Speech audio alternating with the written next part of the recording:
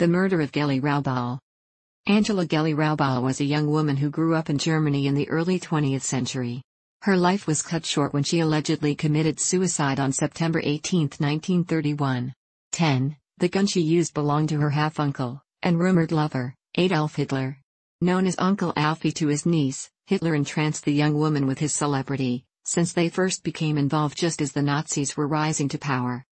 Raubal traveled with the Fuhrer all over the countryside, eventually moving into Hitler's mansion in Munich as a housekeeper.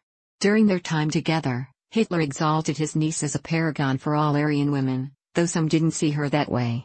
One rival called her an empty-headed little slut who manipulated Hitler. Reports of the pair fighting the night before her death were said to have centered on Raubal's wish to travel to Vienna to get engaged to another man.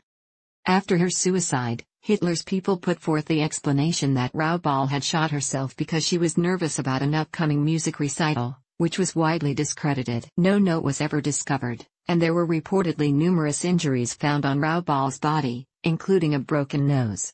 A firestorm of controversy erupted but was quickly silenced by the Nazis' political influence as well as their threats of litigation. Nevertheless, rumors dogged Hitler for years that he had in fact murdered Raubal. A journalist who was investigating the circumstances surrounding her suicide was arrested by the Nazis just before he was to publish his findings. He was executed months later at Dachau. With that last death, any investigations into the truth of the matter were abandoned, and we may never know what truly happened to Geli Raubal.